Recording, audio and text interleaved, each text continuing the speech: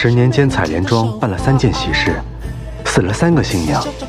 三个新娘死时身上都穿着同一件嫁衣。嫁衣杀人。传说这件嫁衣来路不明，怨气重重，每个穿上它的人都会遭遇不幸。你的孽障竟然在此，竟然在此！嘿嘿。搞不好，还真是嫁衣惹的祸呢。